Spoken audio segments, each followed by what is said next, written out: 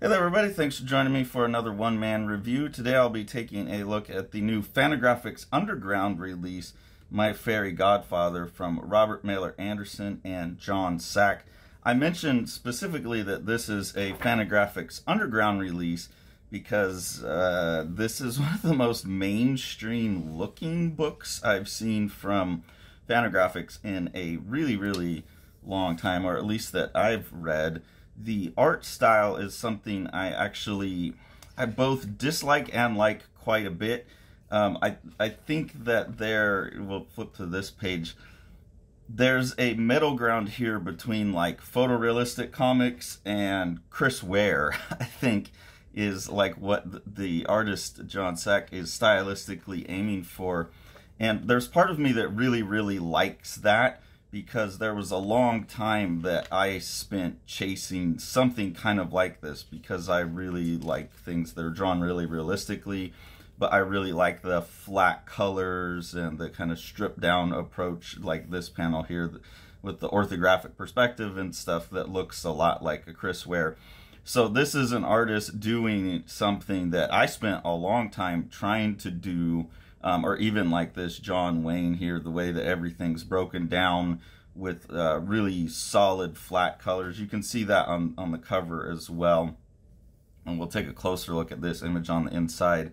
But where everything's made out of flat kind of cell shading styles. It's all stuff I used to really, really like. It's stuff that taste-wise, I feel like now I'm interested in other things and this stuff looks a little bit less sophisticated to me because it's that such a weird combination of it's a stiff combination of things. But within that I still like the design aesthetic of it all. And I really think that the stiffness you know does the lend itself to like this um, very boring view of reality I guess.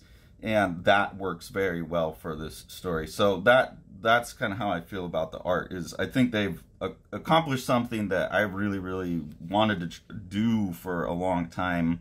Um, and you know, I think it works very well for the story. But from where I'm at as an artist, I don't find it as exciting or compelling as I would have maybe even four or five years ago. Um, so story wise, what the story is all about is we're with this character Billy her parents have just died in a car crash, and this is her aunt and uncle who are taking her from Austin, Texas to uh, Liberal, Kansas to drop her off with her like parents' best friend who is her godfather. And that's where you get the My Fairy Godfather. And the godfather uh, is gay and has a partner, and so that's where you get the fairy from. It's pretty obvious like this is the opening spread of the book here where you got them with their big old Texas truck um, driving through Amer America and on the radio you have uh, the first bit of dialogue is someone on the radio saying the Supreme Court rightly concluded that the Colorado Civil Rights Commission failed to show tolerance and respect for Mr. Phillips' religious beliefs. He, sh he should not have to bake a gay cake. Um, so immediately with that bit of writing and the italics on rightly, you know, basically emphasizing the rightly, and you can tell it's being emphasized in a sarcastic way. Really quickly, I got my guard up about what type of book it is. There's there's been one time um, in the book Rusalka where something was said very early, and that didn't pay off to be what the vibe of the book was over time. It was kind of intentionally misleading. So I was like, okay, I'm going to give it a chance and I'm going to read it all the way through. Um, but that kind of arrogant self assuredness about your view on the world and unable to think critically outside of that is basically, I think, the core of the writing of this book is it's a very flattened view of the world that only has one side and any character that falls outside of the writer's very obvious worldview is flattened down to a cardboard cutout presented in a negative light and treated with no empathy or sympathy which is exactly what the book is asking people to do is to think empathetically and sympathetically with the characters that align with the the writer's view of things Um, there's a lot of stuff that I agree with with the writer. Like if people want to be gay, they should be able to be gay and marry whoever they want, and you know, everyone should leave them alone, stay out of, stay out of people's business. Uh, but I actually disagree with this writer on this issue of the Supreme Court. I don't think a cultural producer, an artist, a cake baker, whatever, should be forced under any circumstance to produce something for a customer they don't want whether or not that refusal is based in an ignorant bias or not doesn't change the fact that legally I'm very uncomfortable with people being able to force a creative individual into working for someone they don't want to. So for this, and that has nothing to do with my feelings on gay rights. Like I think gay marriage should be legal. I cried when I saw Obama light the rainbow flag across the White House. You know, like there's so we're in agreement about the end goal, but I am 100 vehemently in disagreement with this writer's very obvious position on uh, a Supreme Court issue that you know should have never even reached the Supreme Court. Um, you know, if it's not providing medical care to someone because they're sexual identity or whatever, then that's a problem. But denying someone a cake, denying that I'm going to do a book for someone or paint a painting for someone's a different issue. That's di- divorce, you know, has nothing to do with gayness or not. That's just uh, so. That's my opinion on that topic, um, and I don't think it's fair for this writer to treat it as an uh, like such an obvious bad argument, such an obvious bad choice on the Supreme Court that the first thing that they're going to do in their book is make fun of it as like you'd have to be an ignorant idiot to think that they got that wrong. Well, I'm sorry. I have a degree in philosophy from UC Berkeley. Uh, I disagree with you from a philosophical and logical standpoint. So, right away, there is a smugness and an arrogance in this book that's right up front, and it's it's very hard to deal with. So the the uh, story then goes. You see that we're going to liberal Kansas because, of course, we need to go to liberal where they have the term "That's mighty liberal of you," and obviously they aren't liberal because they're in liberal Kansas. Uh, they're they're dumb, ignorant, conservative, redneck idiots is how the book treats this.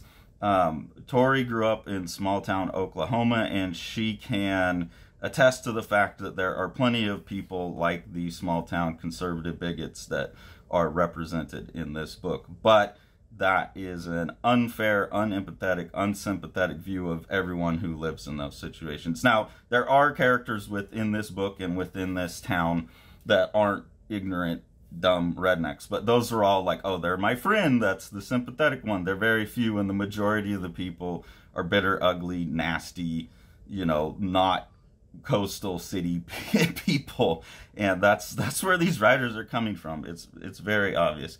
Um, this is the gay uncle Adam, and this is his business partner Stephen. That gives you another look at what I think is the very sophomoric writing in this book. Uh, and there's another point later in the book where they have someone say that God didn't create Adam and he created Adam and Eve, not Adam and Steve and someone gets to rejoinder. So, oh, so clever. They get to rejoinder. Well, her uncles are Adam and Stephen.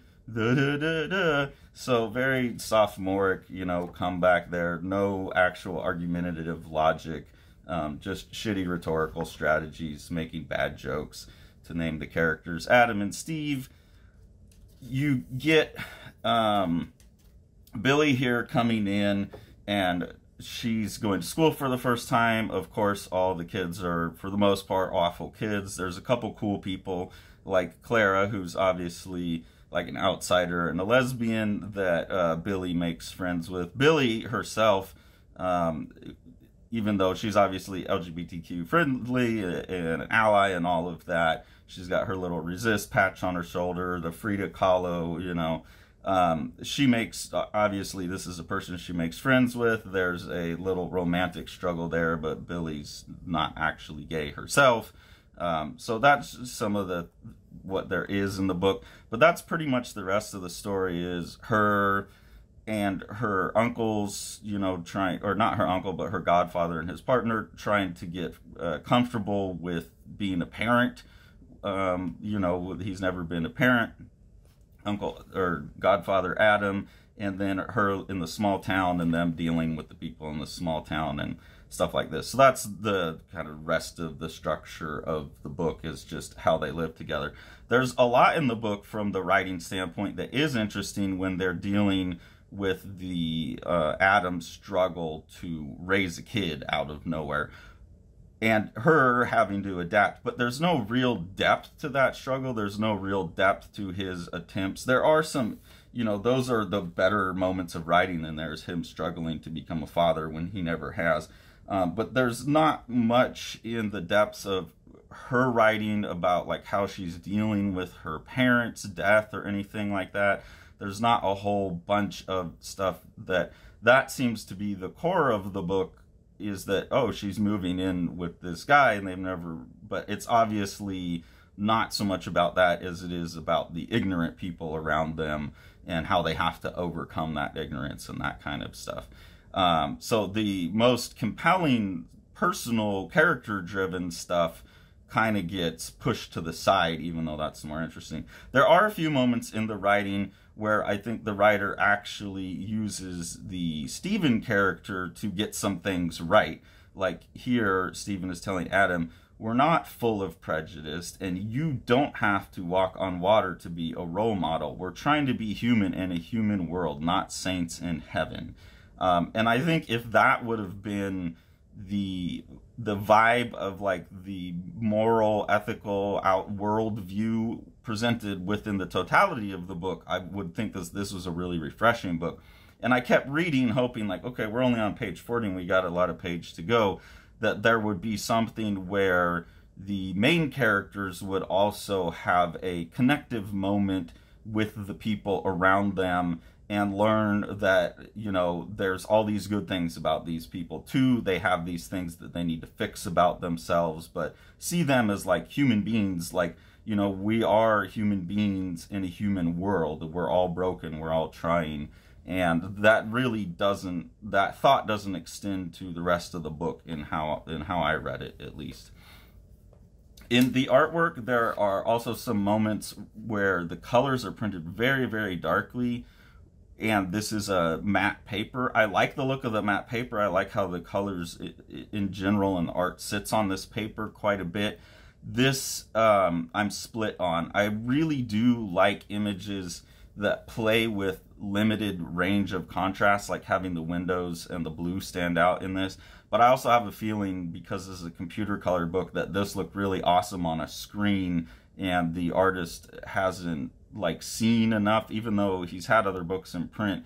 He hasn't seen it in print enough to understand, oh, I got to brighten the colors up a little bit. It's not that I can't see where the colors are at. It's just that eh, on this paper, you and where you don't get the full saturation, some of what I assume would have been nice contrasts on the computer don't pop as much here. So I'm split on whether I like that or not, because sometimes that's how the world is at night, too.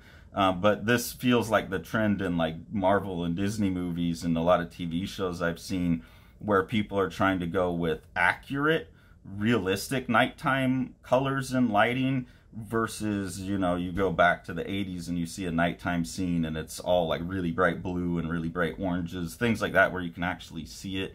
And I think this um, push towards realism maybe goes a little too far. Sometimes you want to just do something for ease of consumption and you know like having some visual impact and I, I think images like this that's again just my personal feeling on it. I do think there are times in my life when i would have liked this more accurate like oh you know there's barely differences between the colors.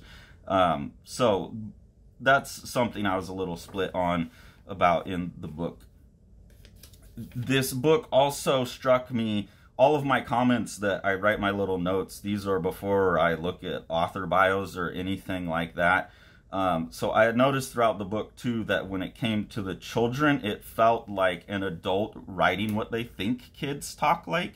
It didn't feel like a, you know, with the main character being a young girl, uh, or you could see the Adam being the main character, maybe. But I still take Billy as the character that we're we're following the most. We're following her friendships. We're following her evolution in the town. Um, it just feels like written by someone who thinks they know more about youth than they do. I think this expression here is really well drawn, by the way. But uh, if you read these two panels here, you can get a sense of what I'm talking about. I know it's totally sus bringing a freshman, let alone him. No worries, like I said, if Dylan's peeps throw us any shade, we'll just bounce. You're fam.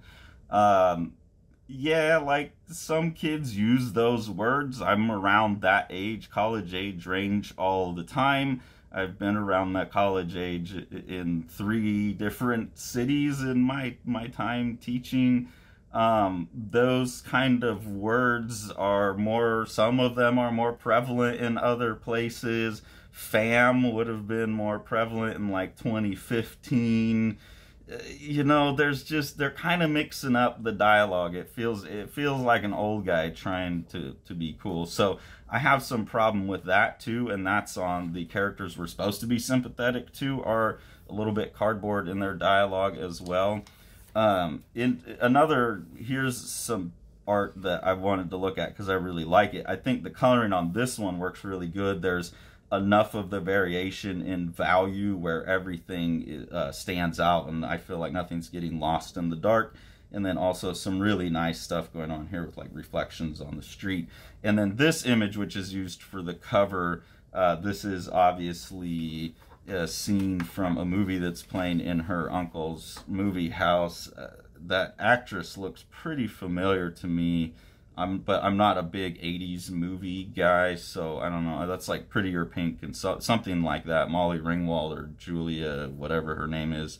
Um, I really like this approach. This actually looks like this might have each layer might have been done separately on a physical piece of paper and then scanned in and turned into color with all of the shading and the hatching, feathering to make the um, different values there. I think this is a really lovely piece.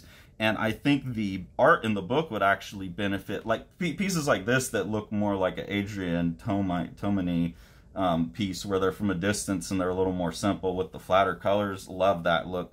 But I think this book would have benefited from um, this more painterly approach, like the fact that the blacks blend in. There's not so much emphasis on like line work around the characters. There's a stranger color palette, you know, we're, we're not leaning into naturalistic colors, like everything in here's pretty naturalistic colors all throughout. So visually, I see the elements of a much more interesting, much more singular style here. It just looks like it requires a lot more work to do it. So I would love to see Jon Sack do something that utilized whatever approach this is with the fuller range of colors, the more steps in between, and all of that.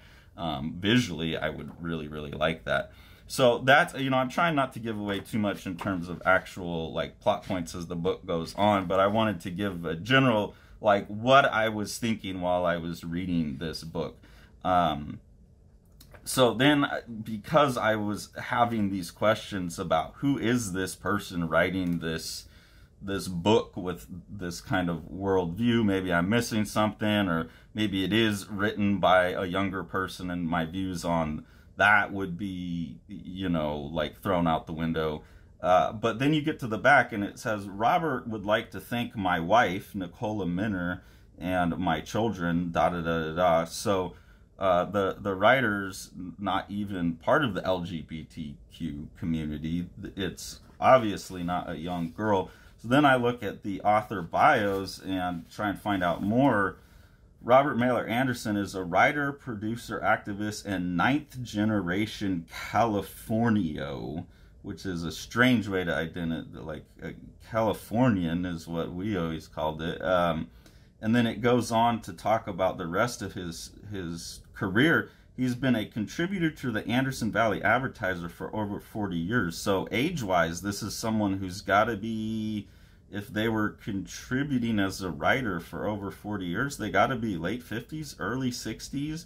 Um, and then he's a board member of PEN Oakland, the advisory board of Los Cenzontles and was appointed by Governor Gavin Newsom to the California Humanities Board in 2020. So the writer of this book is someone, an old white man, straight, cis, uh, and appointed by Governor Newsom, who I can tell you, uh, me and plenty of other people who no longer live in California are happy we don't live under the political regime of Gavin Newsom.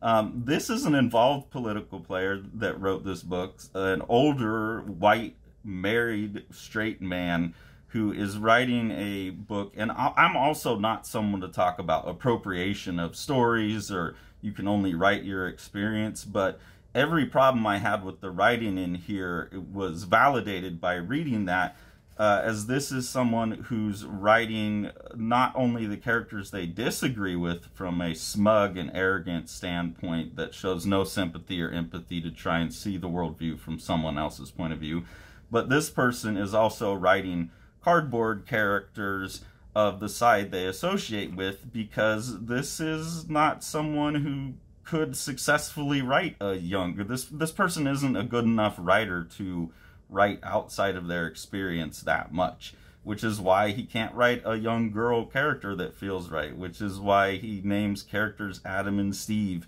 Um, this is very obviously a political activist person that's far left leaning progressive is actually working with the governor of california who has been enacting laws that are absolutely trashing the state um, and he's going to open his book with this smug thing, assuming that he is the most right person on the planet, and you couldn't disagree with him without being an ignorant idiot. Um, and that's what this book feels like, which is kind of sad and unfair to Jon Sack because Jon Sack turns in a pretty great performance, I would say, as the artist. It's a beautiful book to look at. Um, and, you know, looking at Jon Sack, though, he's also basically he's a UK artist and writer. His first book, La Lucha, chronicled the story of human rights defenders in the states of Chihuahua, Mexico. So the artist is also pretty much engaged in political activism. Um, but again, you know, like, why are you worried about Chihuahua, Mexico, man? Write about the UK or something. Uh, you know, and then his stories have covered Syrian refugees in Turkey, environmental activists in Mongolia, Kyrgyzstan, and Peru, and the history of oil in Iraq. Uh, it's it's just like the viewpoint is too obvious in this book. It's too pedantic. It's too much on its own one side. That said, it was like the flow of the story, some of the banter between the characters. There's moments where the Stephen character says other things I liked like it wasn't hard to get through as a read. It was enjoyable to look at, but the arrogance just oozed off the pages of these things, uh, this thing, and it was really kind of baffling. And um, you know, something else that I thought while I was reading this is I've been reading uh, digitally. I've been reading Omaha, the underground comic from the I think the '80s and that book is dealing with these issues in such a more sophisticated way with such more sympathetic characters. You have uh, like gay characters, you have disabled characters, you have this whole range of characters. Uh, and none of them are like they're going out and being bosses and living their life and making things happen. And it just seems like such a better place for stories to be coming from uh, in terms of creating representation for a community than for this. The Eisner nominated The Strange Death of Alex Raymond by Dave Sim and myself. This is a gorgeously illustrated and designed book. Dave doing most of the illustration. Um, amazing compositions throughout. What Dave is doing is he's recording his obsession with the death of master cartoonist Alex Raymond behind the the wheel of Stan Drake's car when they got into a car crash. The best description of the book that I've heard is that it's like understanding comics with pages like this uh, mixed with something like From Hell when you get into uh, the the theories about you know what actually happened with the car crash. And then with Sean on production, it's just one of the most gorgeously printed books you could get a hold of.